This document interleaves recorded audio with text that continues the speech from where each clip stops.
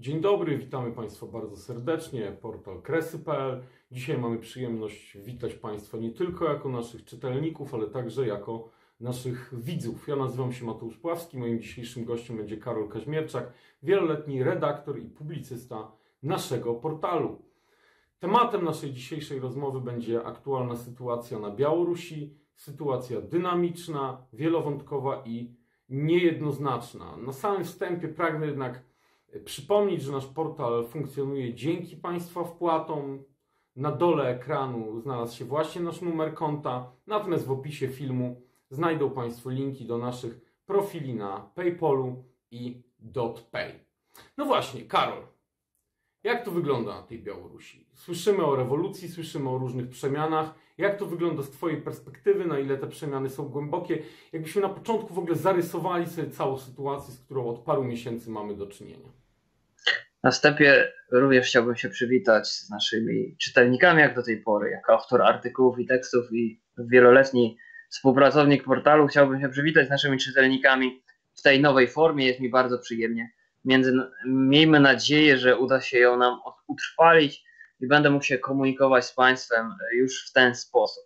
Co do Twojego pytania, Mateusz, to trzeba to określić w ten sposób, że na Białorusi z pewnością mamy do czynienia z rewolucją w treści politycznej, społecznej, natomiast niekoniecznie, jak się okazało, z rewolucją w formie.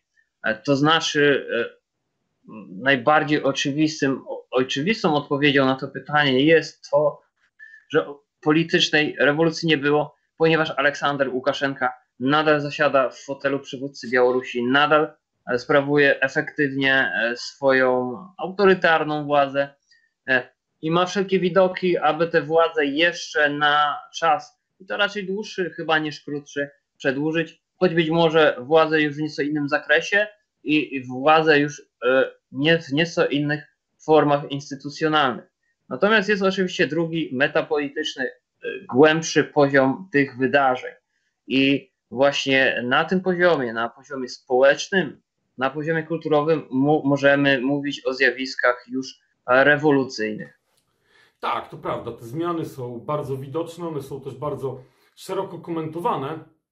Zaraz chciałbym się nad tymi zmianami pochylić, natomiast w tym momencie chciałem Cię też zapytać, jakie Ty dostrzegasz implikacje, jeśli chodzi o zachowanie tych wielkich graczy politycznych, tych wielkich mocarstw, które jednak przewodzą światowej polityce? Jak byś zachowanie poszczególnych tych graczy scharakteryzował, jakby się odniósł do tej kwestii białoruskiej? Wydaje się, że ta rewolucja przyniosła raczej wzmocnienie wpływów rosyjskich na Białorusi w takim wymiarze politycznym, a przynajmniej perspektywę, poważną perspektywę poważnego wzmocnienia tych wpływów. Ujawniła też w sposób bardzo wyraźny desinteresment, jak to się zwykło drzewiej określać, mocarstw zachodnich e, wobec e, tej sytuacji.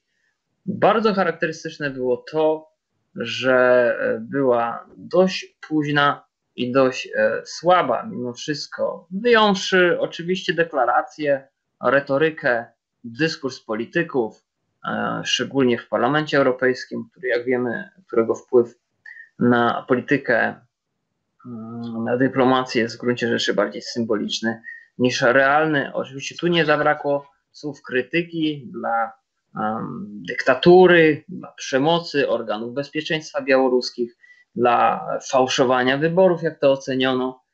Natomiast za tym nie poszły zasadniczo polityczne, poważne ruchy. Mówię, mówię w tym momencie o organach Unii Europejskiej i o mocarstwach zachodnich. Wprost przeciwnie, jeśli sobie e, pamiętamy tę sytuację z pierwszych tygodni, E, z pierwszych miesięcy po wybuchu tych protestów, e, jakie w sierpniu i nie tylko w sierpniu, bo właściwie wystąpienia społeczne na Białorusi zaczęły się już na wiosnę. One oczywiście przyjęły nową, bardziej natężoną, kulminacyjną formę właśnie wieczór wyborczy, ale ten jakby ruch społeczny, ta fala zbierała tam już co najmniej od e, marca i kwietnia. Więc gdy przypomnimy sobie tę reakcję, to jedną z pierwszych reakcji był kontakt e, prezydenta Francji czy kanclerz Merkel z Władimirem Putinem.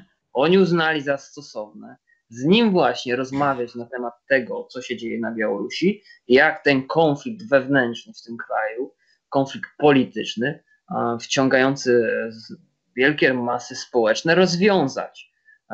Podobnież bardzo długo milczenie zachowywała, zresztą powodując krytykę białoruskich opozycjonistów, administracja Donalda Trumpa. Ona zareagowała jeszcze później niż polityce europejskiej i zareagowała też w sposób e, głównie retoryczny początkowo.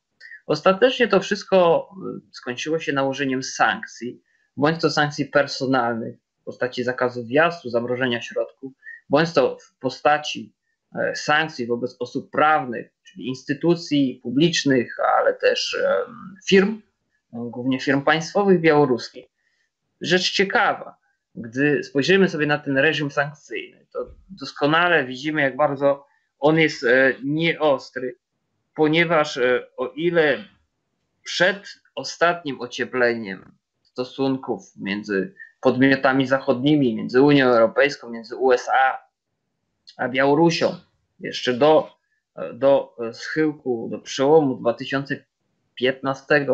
2015-2016 roku pod sankcjami znajdowało się, na ile dobrze pamiętam, około 180 osób i podmiotów. Mm -hmm to w tej chwili e, raptem aż sięgnę tutaj do mojej ściągi, ale pamiętam, że jest to liczba mm, znacząco e, mniejsza. W tej chwili pod sankcjami Unii Europejskiej e, znajduje się 88 osób fizycznych i 7 podmiotów prawnych. Więc w gruncie rzeczy widzimy, jak bardzo niemrawa jest to reakcja. Czyli jest to reakcja oczywiście krytyczna, ale z drugiej strony taka, która w zasadzie nie jest w stanie w znacznym stopniu wywrzeć jakąkolwiek presję na władze Białorusi i raczej należy ją in, interpretować ze strony państw zachodnich jako właśnie sygnał, mm, można powiedzieć, przyjęcia tego, że leży to poza ich bezpośrednim zainteresowaniem na ten moment, w tym stanie, w jakim jest, i że są one skłonne cedować odpowiedzialność za ten obszar na, na Rosję i e, oczekując od niej jakiejś stabilizacji tego obszaru. Wydaje mhm. się, że główną przesłanką polityków zachodnich jest taka przesłanka, że oni nie mają tam zbyt wielkich interesów na Białorusi, natomiast ich interesem jest, żeby był spokój, szczególnie w przypadku Francuzów, Białorusinów, żeby był spokój u granic Unii Europejskiej i dodatkowo, żeby e, sytuacja na, na Białorusi nie komplikowała ich własnych stosunków właśnie z Moskwą. I szczególnie w przypadku e, Francji, ale też na przykład Austriaków, które mieli najlepsze, najcieplejsze zdecydowanie te stosunki z władzami Aleksandra Łukaszenki, ale też w przypadku Włochów, którzy nigdy e, nie ukrywali, że właściwie no, nie zamierzają w pewien sposób interweniować w wewnętrzne e, sytuacje na Białorusi, prowadzić polityki zmiany reżimu tak zwanej w tym kraju, i można to rozszerzyć na szereg innych, innych e, państw zachodnioeuropejskich, za których, za których Białoruś w ogóle nic nie znaczy. Widać wyraźnie, że, że on, oni tu przyjęli raczej strategię wycofania. Oczywiście, za wyjątkiem Polski, oczywiście za wyjątkiem Litwy, a może pozostałych dwóch krajów bałtyckich. Zwrócę jeszcze uwagę, że nawet jeśli już powiemy sobie o tej radykalnej E, antyłukaszenkowskiej, interwencyjnej e, w takim swoim zamierzeniu, bo realnie żadnych środków interwencji tam nie mamy, e, polityce Polski, to ona nie pozyskała sobie nawet pozostałych państw Grupy Wyszehradzkiej, o ile jeszcze w pierwszych tygodniach po tych wystąpieniach w Mińsku Czesi pewne krytyczne retorykę stosowali, no to już w przypadku Słowacji tego nie było. Natomiast w przypadku Węgier można wręcz mówić o takim E, o takiej polityce nastawienia się na stabilizację, na odbudowę stosunków z Łukaszenką. Orban zresztą gościł, gościł w, w tym roku w Mińsku, spotykał się z Aleksandrem Łukaszenką. E, przed, tą, przed tymi wyborami Węgry bardzo wyraźnie prowadziły e, taką politykę, no, wpisującą się w całą strategię tak zwanego otwarcia na wschód orbanowskiego politykę raczej szukania współpracy z tym krajem i całkowitego abstrahowania od kwestii ideologicznych, wewnątrzpolitycznych, te, jak, takich uwarunkowań, jakie na Białorusi występowały i po tych wyborach również bardzo wyraźnie to widać, że Węgry są sceptyczne wobec tej polityki, właśnie takiej, jaką Polska przyjęła. No właśnie, jak uważasz, jak te działania, które Polska podjęła, odbiją się na, na realnych stosunkach politycznych pomiędzy Polską i Białorusią? Stosunkach, które jak wiemy nie są dobre. Albo mówiąc wprost, no, sytuacja wygląda źle. I, I czy ty uważasz, że te przejaskrawione, wychodzące często przed szereg działania, które przynajmniej z tego co mówisz należałoby ocenić jako porażkę polityki zagranicznej naszego kraju, czy twoim zdaniem one rzeczywiście mocno e, wpłyną na obecną sytuację, tak realnie, czy raczej nie? Jak to wygląda twoim zdaniem? Tych stosunków, najkrócej rzecz ujmując, już nie ma. One zostały zamrożone do poziomu, jakiego nie widzieliśmy prawdopodobnie od takiej wojny dyplomatycznej, jaką z Białorusią mieliśmy e, po w 2005 roku, bezpośrednio po, kiedy Polska właściwie zamroziła swoje relacje, a może raczej strona białoruska w związku mm, z rozbiciem przez władze Białorusi Związku Polaków, czy właściwie interwencją w konflikty między poszczególnymi grupami Związku Polaków, co się zakończyło jakby rozłamem, rozłamem o, oczywiście w tym przypadku no to reakcja nie mogła być inna. Już na drugi dzień e, po wieczorze wyborczym, nie czekając na nic, czyli po pierwsze nie orientując się, czy posiadamy jakiekolwiek wsparcie partnerów, e, no bo jakby musimy wyjść, musimy dokonać pewnej refleksji wyjściowej. Czy Polska ma realne atuty do wpływania na sytuację na Białorusi? No, Polska takich atutów, jak wiemy, nie ma. Nie ma ich dlatego, bo nie jest potęgą militarną. Nie, jest, nie ma ich dlatego, tak, ponieważ nie jest potęgą ekonomiczną. A jest krajem już względnie zamożnym, ale czy nie źródłem technologii, kapitału, inwestycji. Polskie inwestycje na Białorusi są minimalne. również polski handel nie wygląda imponująco. Połowa e, obrotów handlowych Białorusi, Białorusi przypada na Rosję, przy tym jest to obrót, jest to handel także surowcami strategicznymi, gazem, ropą, a te jak wiadomo mają dla Białorusi kluczowe znaczenie, bo ponad 60% miksu gazu energetycznego Białorusi to jest rosyjski gaz, po drugie rosyjska ropa odgrywa kluczowe znaczenie, ponieważ eksport towarów, produktów ropopochodnych przerabianych właśnie z rosyjskiej ropy, to jest znaczna część dochodów budżetu Białorusi i to jest znaczna część w ogóle białoruskiego PKB, wręcz tak można powiedzieć, a więc białoruskiej gospodarki. W końcu te dwie e, kluczowe rafinerie białoruskie utrzymują um, poprzez powiązania krzyżowe, własnościowe czy różnego rodzaju dotacje utrzymują E, utrzymują cały szereg niewydolnych, nierentownych wielkich zakładów przemysłowych białoruskich. A więc ten sektor ma to kluczowe znaczenie. Polska e, jest e, daleko poniżej tego poziomu partnerstwa handlowego, jaki wynikałby z sąsiedztwa i naszego potencjału gospodarczego. Wyprzedzają, wyprzedza nas nawet Holandia. Więc również nie mamy tutaj tych lewarów ekonomicznych na ten kraj, i w końcu nie mamy też żadnych możliwości wpływu politycznego, w tym sensie, że polscy politycy nie mają kanałów komunikacji otwartych z jakimikolwiek reprezentantami e, jakiejkolwiek frakcji, jakiejkolwiek części, jakiejkolwiek grupy w elicie politycznej białoruskiej. Przez jakąkolwiek grupę w tej elicie nie są darzeni zaufaniem i w związku z tym mm, ani brak jakby obiektywnych atutów, ani brak atutów subiektywnych w postaci jakichś nawiązanych więzi um, i, i zbudowanych tradycji kooperacji, choć to usiłowano robić w ostatnich latach, powoduje, że um, my nie jesteśmy tam aktorem. I jakby w związku z taką sytuacją no, należało się zastanowić, czy jakikolwiek um, sojuszniczy wobec nas, wobec nasz państwo, jakikolwiek partner polski chce się tam realnie angażować i angażować w taki sposób, jaki my byśmy chcieli.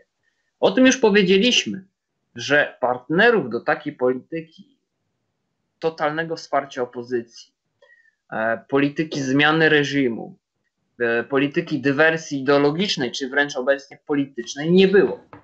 Nie było takich partnerów ani za Atlantykiem w postaci protektora Polski zarządów PiS. Amerykanie się zdystansowali. Nie było takich partnerów także w Unii Europejskiej. A takim partnerem była Litwa.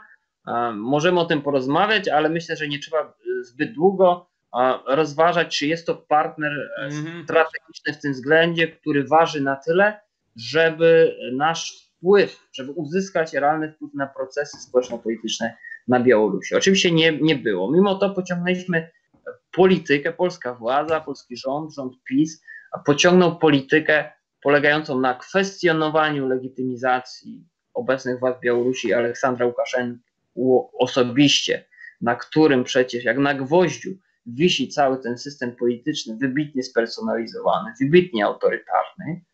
E, w dodatku byliśmy głównym heroldem sankcji, w dodatku e, byliśmy głównym promotorem e, Swietłany Cichanowskiej, w dodatku pojawiła się retoryka formu, formowania rządu na uchodźstwie i tam podarowano mm -hmm.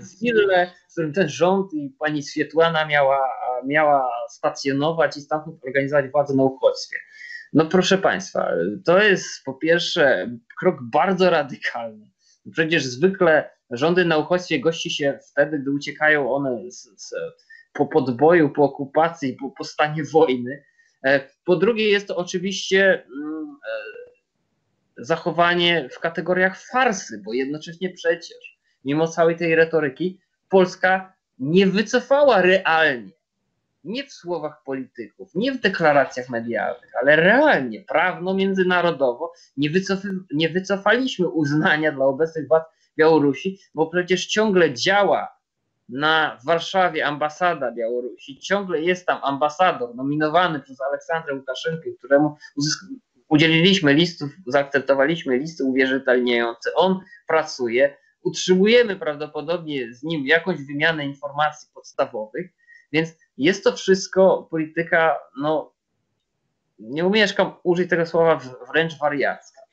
Nieproporcjonalna do naszych sił, do naszych środków, do naszych realnych politycznych działań i narażająca po prostu państwo polskie, zarówno w oczach Łukaszenki, zarówno w oczach ewentualnych grup w elicie białoruskiej, które kiedykolwiek rozważały, że można jakiekolwiek zmiany na Białorusi prowadzić, wspierając się na jakiejś formie, na jakiejś formie współpracy z Polską i w końcu także wśród trzecich państw, wśród naszych potencjalnych partnerów politycznych, których teraz szukamy tylko i wyłącznie na zasady, narażające nas na śmieszno.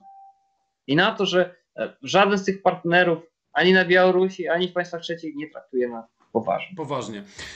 No właśnie, chciałbym się teraz pochylić nad sytuacją Polaków na Białorusi. Sytuacją, która jak wiemy dobra nie jest. Chciałem tylko przypomnieć naszym widzom, że nasz portal y, utrzymuje się dzięki Państwa wpłatom.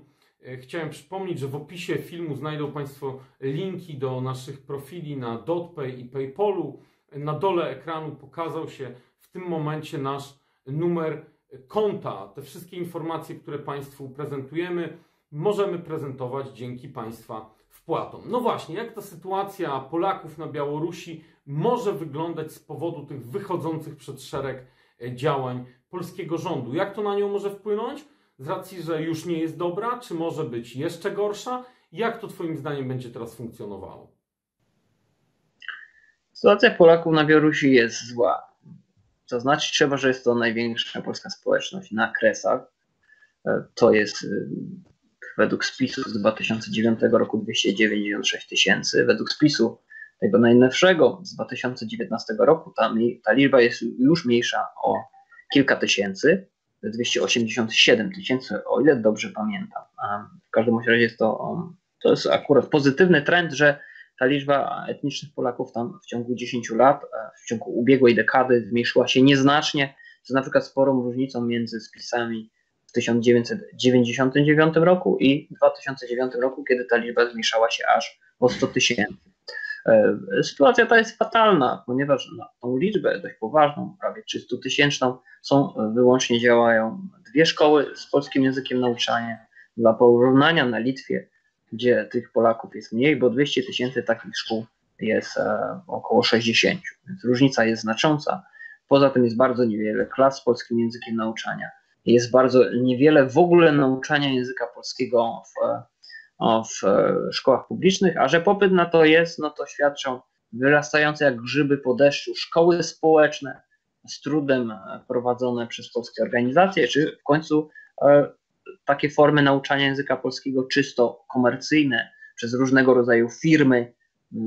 To są w tej chwili tysiące ludzi, którzy korzystają z takich form nauczania języka polskiego, młodzieży. Są nie tylko oczywiście ludzie pochodzenia polskiego, ale także ci, którzy wiążą swoją przyszłość z emigracją do Polski. Więc popyt na to jest, państwo tego nie zaspokaja. Wprost przeciwnie, od lat władze Białorusi ograniczały liczbę przyjęć do polskich szkół, nie przyjmowano wszystkich chętnych. Od lat sekowano e, polskie organizacje, które polskiego języka nauczają, e, co zresztą wpływa i na to, że poziom znajomości języka polskiego wśród tamtejszych Polaków jest minimalny, to też ma znaczenie dla utrzymywania lub nie przednich e, swojej tożsamości narodowej. Oczywiście w państwie tym sama działalność organizacji społecznych jest bardzo poważnie ograniczona. Właściwie nie ma wyjścia z polskim językiem, z polską kulturą do przestrzeni publicznej. E, często to się spotyka z represjami. Łącznie na przykład z polskimi upamiętnieniami historycznymi, to było wiele takich przypadków, gdy stawiano na przykład tablice żołnierzom AK, skromne tablice upamiętniające, że, że na przykład polegli w danym miejscu, odbyła się jakaś bitwa i one były przez nieznanych sprawców e, niszczone, e, więc e, jest to sytuacja bardzo trudna. Nie ma właściwie polskich mediów, a nawet władze Białorusi, te organizacje, które uważają za własne, czyli tak zwany Związek Polaków na Białorusi, ten prorządowy, który powstał po tym rozpadzie w 2005 roku, też faktycznie jest organizacją w dużej mierze martwą, nie prowadzącą działalności, ponieważ władze Białorusi w ogóle jej nie finansują. E, można by tutaj bardzo, bardzo długo rozmawiać o, o tych sytuacjach, o, o grupie Młodzież z Lidy, która nieformalnie działała, zbierając się dla oglądania polskich filmów, przenosząc polską symbolikę na stadion w Lidzie, e, e, sprzątając cmentarze polskie wojskowe, mm, urządzając upamiętnienia rocznic historycznych i nawet takie inicjatywy ja dobrze znam tą sytuację, bo opisałem, opisywałem ją w reportażu. To była grupa młodzieży z Bidy, Mirosława Kapcewicza, który obecnie przebywa już w Polsce na emigracji. Nawet takie działania, natychmiastowe represje wywoływały w postaci wezwań na KGB, postępowań różnego rodzaju karnych. E, więc, więc taka jest sytuacja. Ta sytuacja jest bardzo zła. Cała zresztą polityka historyczna, edukacyjna jest mhm. niejako symboliczną przemocą wobec Polaków. Oczywiście zawsze może się zmienić na gorsze, bo zawsze zamiast dwóch szkół może być zero. Zawsze mhm. zamiast kilku organizacji legalnie działających w postaci Polskiej Macierzy Szkolnej w Grodnie, w postaci Forum Polskich Inicjatyw Społecznych w Brześciu, w postaci Towarzystwa Kultury Polskiej Ziemi Lickiej w Lidzie, e, może ich w ogóle nie I te jakby bardzo wąskie nisze działalności w duchu polskim, głównie edukacyjnej, mogą zostać całkowicie zwinięte albo jeszcze bardziej ograniczone. E, I więc możemy powiedzieć, że e, może być gorzej. Ci ludzie są w tej chwili za, zakładnikiem. Nie, jeszcze nie zostały wykonane ruchy instytucjonalne przeciwko tym organizacjom, choć Wiem o tym, że w Brześciu organa bezpieczeństwa no już interesują się tamtejszym Forum Polskich Inicjatyw Lokalnych Brześcia i Obwodu e, Brzeskiego. E, lokalną zresztą organizacją do tej pory tolerowaną przez władze. Mm, e, natomiast już efektem tej wojny dyplomatycznej między Polską a Białorusią było na przykład e, nakaz ze strony władz Białorusi e, opuszczenia polskich jednostek dyplomatycznych, polskich placówek dyplomatycznych i konsularnych przez znaczną część jej obsady. To w tej chwili spowodowało już od jesieni zeszłego roku paraliż naszych placówek konsularnych, co oznacza paraliż wydawania wiz, wydawania kart Polaków. Ja już miałem takie informacje od tamtejszych Polaków, którzy utknęli na Białorusi, także na przykład od studentów e, Polaków z Białorusi, studi którzy studiowali w Polsce, wrócili na Białoruś, skończyła im się wiza. W tej chwili oni nie mogą jej odzyskać, mają z tym problemy, ponieważ jakby te kanały, e, kanały proceduralne w polskich konsulatach są konkretnie zatkane w tym momencie. Więc ta wojna dyplomatyczna już się odbiła na poziomie kontaktu tych Polaków z Polską, jakie oni będą mogli utrzymywać. Odbije się na możliwości dystrybucji, e, udzielania kart Polaków. Już te pierwsze efekty widzimy. Zobaczymy, co będzie dalej. Możliwe są represje, lub możliwe jest jakby całkowicie przekreślenie jakichkolwiek szans na, na wyjście e, Polaków z tej niszy, w jakiej znajdowali się od tylu lat. Na, na spetryfikowanie tego stanu bardzo wąskiej przestrzeni, w jakiej polskość mogła tam funkcjonować. Bardzo Państwu dziękujemy. Dalsza część rozmowy już wkrótce. Pragniemy przypomnieć o możliwości subskrybowania naszego kanału, dopisania się do newslettera, przeglądu kresowego, w którym mamy zwyczaj prezentować Państwu w skondensowanej, przystępnej formie najważniejsze wydarzenia z ostatniego tygodnia. Przypominamy także, że portal funkcjonuje dzięki Państwa wpłatom. Dzięki temu prezentujemy Państwu nasze materiały. Przypominamy, że w opisie filmu znajdują się linki do naszych profili na PayPal oraz DotPay. Natomiast na dole ekranu pokazał się właśnie nasz numer konta. Dziękujemy i serdecznie pozdrawiamy.